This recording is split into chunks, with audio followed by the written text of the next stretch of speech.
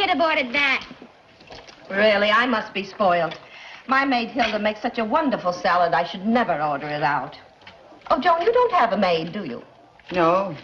My maid Mimi makes very good salad, but her specialty is chicken a la king. If Henry had his way, he'd eat it seven nights a week. Mmm, the sauce is delicious. I'll bet it doesn't compare with Hilda's. Who's Hilda? My maid, of course. Oh, You know, Jody, I simply don't understand how you get along without a maid. Just the other night, Henry and I were talking about you and Brad, and Henry said he didn't know how you managed without a maid. no, it's a coincidence. Uh, just the other night, Brad and I were talking about you and Henry. And Brad said he didn't understand how you two could afford a maid. Well, Henry may not be rich, but he certainly knows how to manage his affairs. And at least he's considerate of his wife. Oh, well, Brad is considerate of me, too. It's just that he knows that I know how to take care of a house better than a maid could. He knows that I can cook better, wash better, clean better, get down on my hands and knees and scrub floors better. Wait a minute, how does he know all that if we never had a maid? Say, wouldn't it be wonderful to have somebody here to answer the phone when we were both out? Joan, I know that you're leading up to something, but I can't quite figure out what it is. So why don't you cut the red tape and come to the point, hmm? Oh, Brad, just think, Well, honey. Mister- i- If you and I could go out together all afternoon and then be able to come home at night and find the house spick and span and a delicious pot roast and potato pancake dinner waiting for us. Now, now look, Joan, so that's it. Now, look, dear, we, we've been through that before, and for the last time, we're not going to have a maid. We, we just can't afford it. Well, I don't know why not, Brad. The Tobins have a maid. Mildred and Henry have a maid, and, well, we're just as rich as they are. Well, if they want to live over the head, that's up to them. But we have a long-range plan, and we're going to stick to it. Couldn't we shorten the range and live a little? No, absolutely not, dear. Very hungry. Let, let's eat. Okay, I'll bring it out. I'll help you. Oh, uh, no, Brad. No, you've had an exhausting day in court, Well, you know. was- I don't want you to exert Uh. yourself. Don't move. Hey, you don't even have to come to the table. No? The table will come to you. How's that, dear? Now, can you move? No, Well, no. that's fine. That's just the way it should be. Now, just take it easy. I'll get it for you. Mrs. Stevens, I... I haven't told my husband about you yet. Oh, dinner's ready. Don't you want me to serve it? Uh, no, I'll serve it. You just stay in the kitchen and don't make any noise.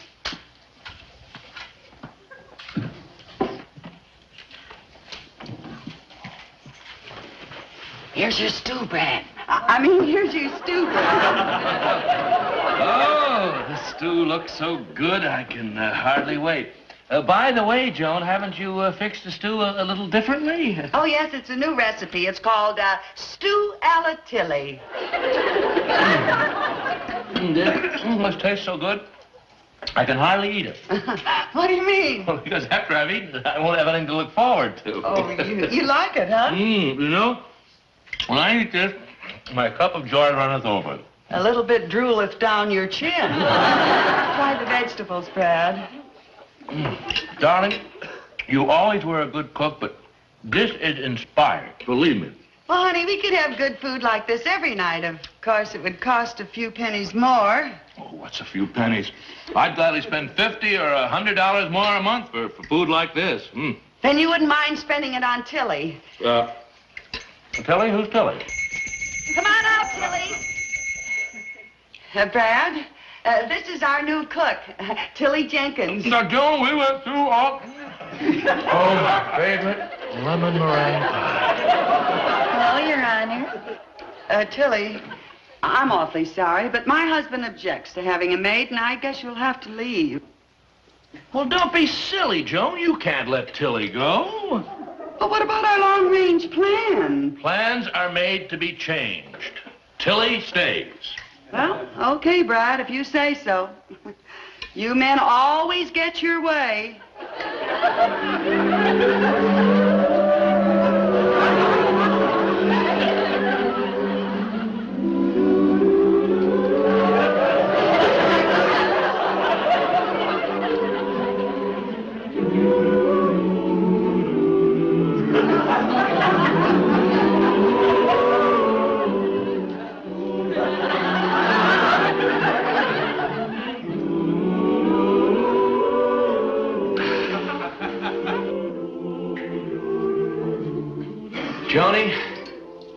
Two weeks have been among the most memorable in my life. And I owe it all to you for finding Tilly. Oh, it was nothing, dear. The kitchen door was open and she just walked in. yes, but you had the presence of mind to leave the door open. How did we ever live before we found Tilly? Oh, we weren't living, we were just existing. You know, she's a great artist in the kitchen. As Shakespeare might have said, what food these morsels be. Well, I just don't know what we'd ever do without her. Perish the thought. And all my girlfriends are just green with strawberry shortcake. Judge Stevens, Your Honor, I'd like to talk to you. Yes, yes, Tilly. Go right ahead, whatever on your mind. Well, I came to California because I wanted to see some movie stars. And in the two weeks I've been working here, I haven't seen a single one. So, I'm quitting. But Tilly, But Tilly, Tilly! you can't quit. You? But, but, Tilly, you can't quit. You can't quit.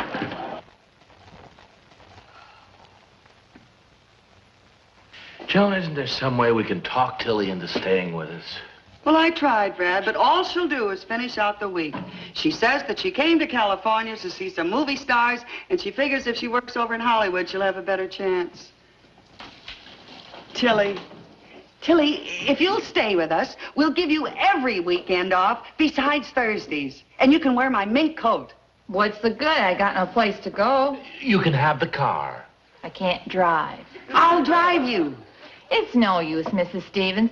If I could just get one peek at Gregory Peck or Ronald Colman or Clark Gable or Rodney Parker, I'd be happy. I hate to leave you folks, but I want to go someplace where I can maybe run into some movie stars. Did you hear that, Brad? Tilly is leaving us so she can see some movie stars. Imagine that. What's so funny about that? Oh, Tilly, our most intimate friends are movie stars. Huh? They are? Like who? Uh, uh, Brad, tell her who our friends are. Huh? Uh, uh, no, Joan. Uh, you tell her. Well, we know. Uh, mm, excuse me. Hello. Hello, Joni. What time do you want me to pick you up for the bridge game? Oh, hello, Claudette. Claudette Colbert. What are you talking about? This is Mildred. Mildred Webster. No. No, really? Oh.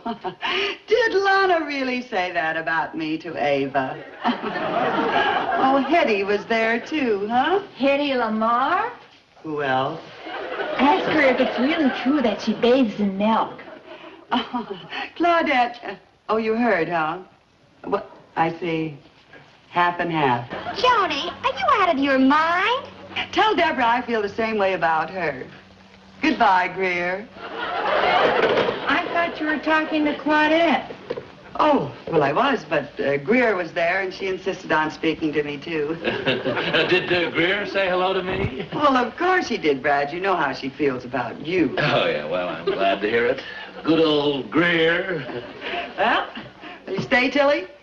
I don't know. You don't seem to know nothing but female stars. I got more of a yin to meet some leading men. Oh, uh, well, we know lots of uh, leading men, don't we, Brad? Lots of them. Ronald Colman? Oh, I know Ronald Colman as well as I know Clark Gable. Really? Maybe better. And Rodney Parker? He's my dream man. Tilly, Would you believe me if I told you that Rodney Parker sat in that same spot that you're sitting in right this moment? No. Oh, oh, Tilly, would you answer the phone, please?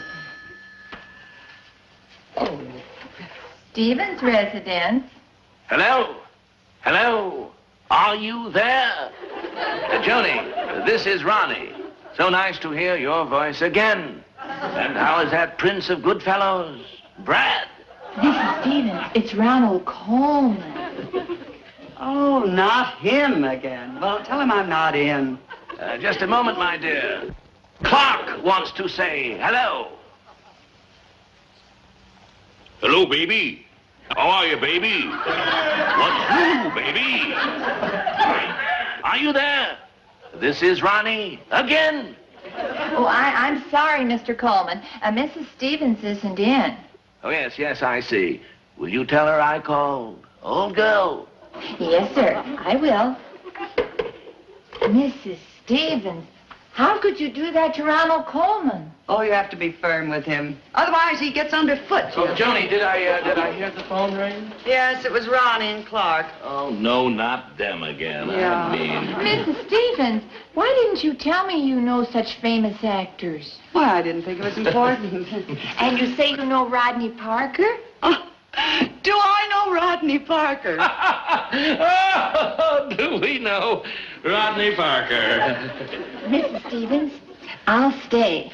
Oh, thank you, Tilly. Thank you, Tilly. I mean, thank you, thank you, Tilly. On condition that you have Rodney Parker here for dinner tomorrow night. But Tilly, You know, he's been the only man in the world for me ever since I saw him in Young Hearts in Vienna. And now look, Tilly, if we uh, just. I'll make a special dish for him. Nothing's too good for Rodney Parker. I'm going to plan the menu right now. Rodney. Tilly expects Rodney Parker here for dinner, and, and he won't be here, and neither will Tilly.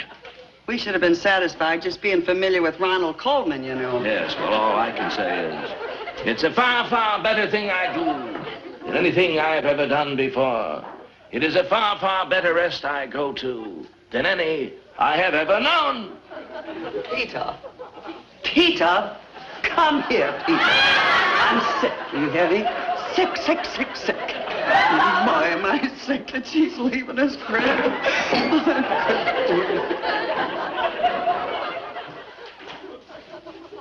Joan, there's no use in worrying and making yourself sick. Just tell Tilly you were kidding and you don't know Rodney Parker. well, that's easy for you to say. But the moment she hears that, she'll walk right out. Well, you're going to lose it tonight when Rodney doesn't come for dinner. I know, but I keep hoping for some miracle. Beautiful dreamer, I dream of you. Rodney Parker, I hope you like stew. Mrs. Stevens, you think that Rodney Parker would autograph his picture in this magazine? You ask him. He's such a good friend of yours, he won't refuse. Beautiful dreamer. You see? Oh, Joni, I don't blame her. He's an absolute doll. Yeah, half the people in the country are crazy about him. The other half are men. I'll bet you have to make a reservation six months in advance just to be able to throw yourself at his feet. Rodney Parker, the new hot heartthrob, is a man's man. He likes striped pajamas, icy showers, is a well-known skin diving enthusiast, a four-letter man at college, and a member of the honorary fraternity Phi Gamma Epsilon. He... Phi, Phi Gamma? Why, that's Brad's fraternity. They have a motto about helping each other. I'll bet Brad can get him to come to dinner tonight. Gee, that would settle your problem. Well, and how it would. You know, when one Phi Gamma meets another one, they fall into each other's arms and start to cry. Uh, hello, uh, Miss Brownlee. uh, Oh, who's this? The bailiff? Oh, well, is Judge Stevens there? This is Mrs. Stevens. Oh, he went out? I see. Thank you. Brad left the office. He gave his secretary the afternoon off, too. Oh, that's too bad. You had a good idea, too. You know, it's still a swell idea. I'm going to go and see Rodney Parker and invite him to dinner myself. Beautiful Rodney, don't be a louse. I'll save my maid if you come on to my house.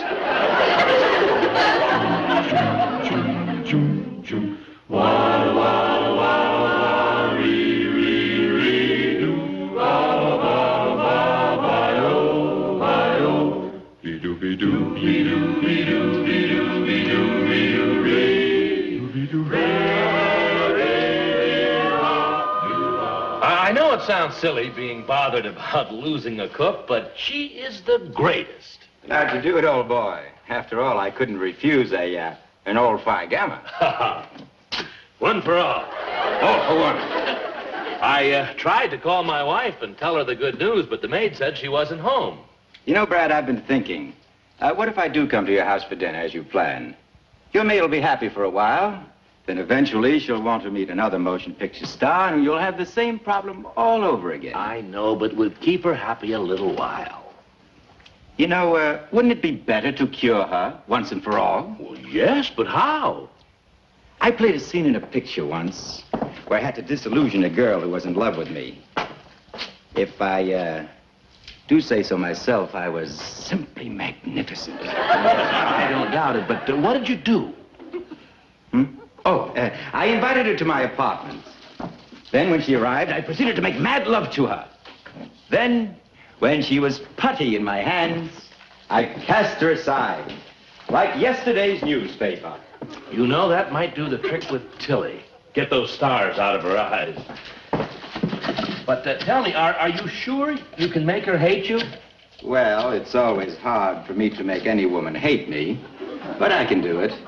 I don't mind telling you, Brad, when I play a louse, I'm so convincing, I even hate myself.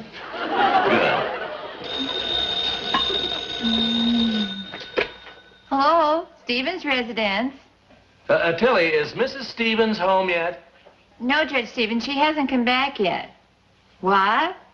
You want me to meet Rodney Parker in person? Right now? He can't wait till tonight to meet me. Where? I'll be right there.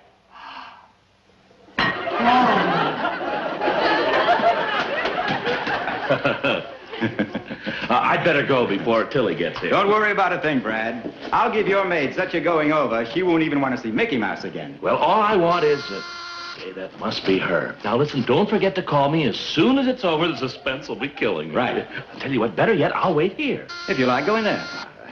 Oh, Brad, by the way, uh, this Tilly, she pretty? Pretty bad, huh? Oh, well, it's for a good cause. Go on, down, down.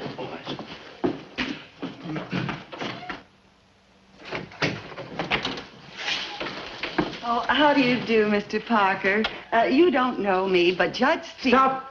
Don't speak. Huh? That voice. It's music. Huh? Music! Say it again. Huh?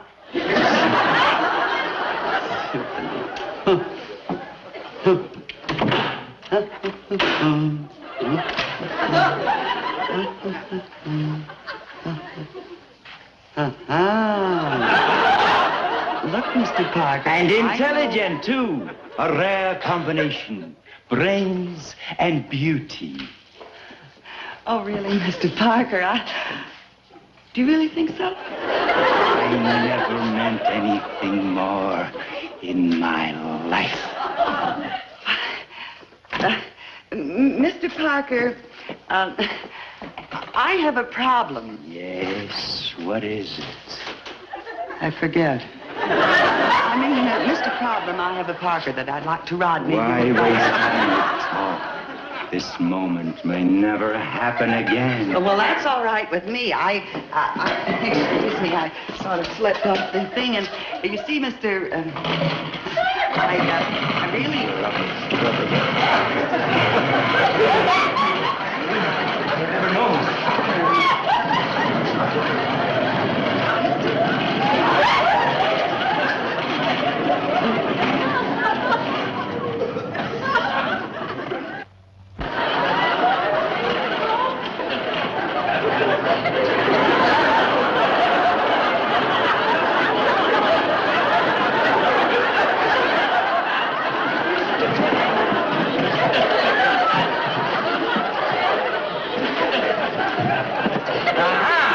A bit of a tease, huh? Well, I'll get you down. Have you read any good books lately?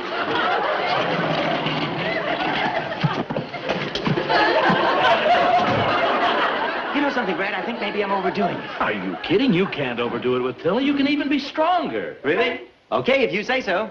you know, it's lucky that she hasn't got a husband. Otherwise, he'd put you in the hospital. Yes, that is lucky. Say, Rodney, I, I want to thank you again. Oh, don't thank me. I'm enjoying it. How can you say that? Evidently, our tastes differ, old boy. I think she's pretty cute. You mean it? Well, of course I do. Oh, well, back to work. Or rather, should I say, back to fun?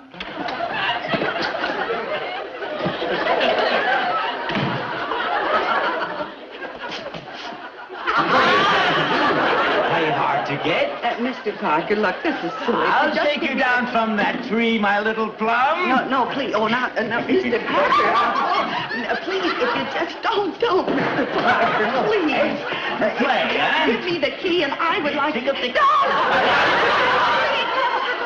Mr. Parker, no. Enjoy the chase, huh? I warn you, it only makes you more fascinating. Come to me, my melancholy Really, I... Really... Uh, you see, Mr. Parker, I... Please, Mr. Parker. Please.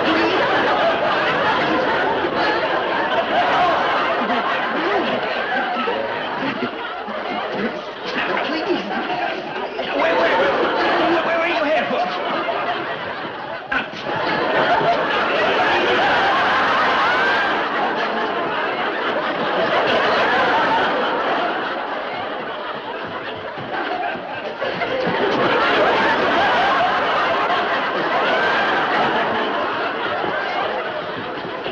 Please.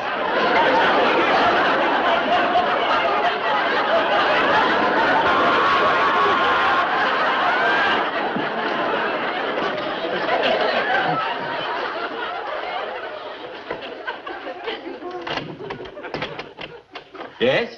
Hello, Mr. Parker. Look, uh, lady, I'm busy. Judge Stevens invited me over. He did? He sure did. And here I am. Wait a minute.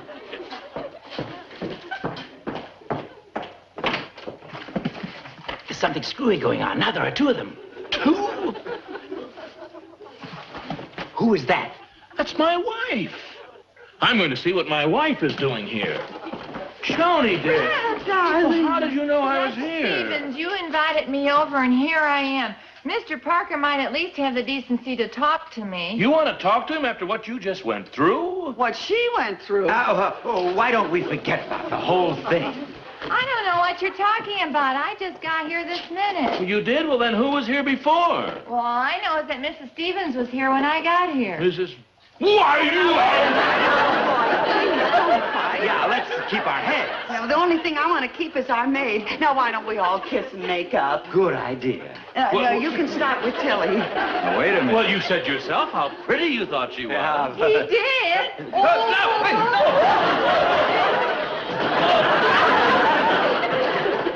Playing hard to get. Tilly, be, be nice about it now. Now, I, I tell you, be big, be big, be big about it now, Tilly.